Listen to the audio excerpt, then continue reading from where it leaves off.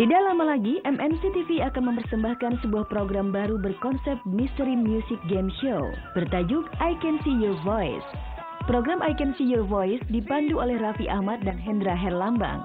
Rabu malam kemarin, mulai syuting perdana di studio MNC TV Kebon Jeruk, Jakarta Barat.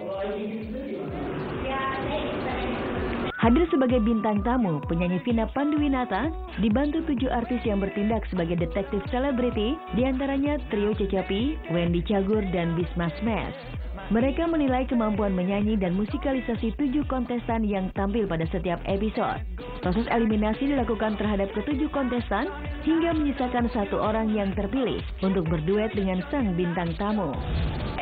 Adalah salah satu acara yang sangat bagus sekali ya. Kita kita kita aja sebagai pengisi acara atau sebagai detektif kita nggak tahu yang mana yang bisa nyanyi atau yang enggak ini sesuatu yang berbeda. Kita aja yang di dalam aja menarik gitu. Kita nggak bosen gitu loh. Kita aja nggak bosen.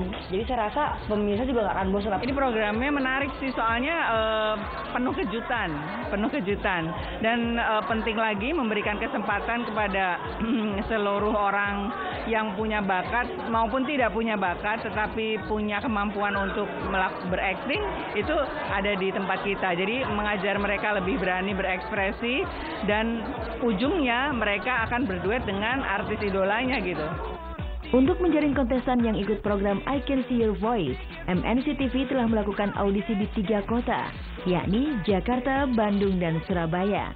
Program I Can See Your Voice akan menjadi tontonan yang menarik dan diperkirakan akan mendulang sukses seperti I Can See Your Voice di Korea dan Thailand jadi tayangan yang akan menjadi uh, sama hitsnya dengan dengan dengan yang di Korea, Thailand. Jadi ini akan menjadi tayangan yang sangat ditunggu-tunggu sama pemirsa dan semua umur bisa nonton.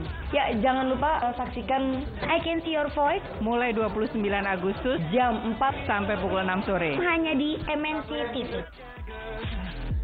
You wanna know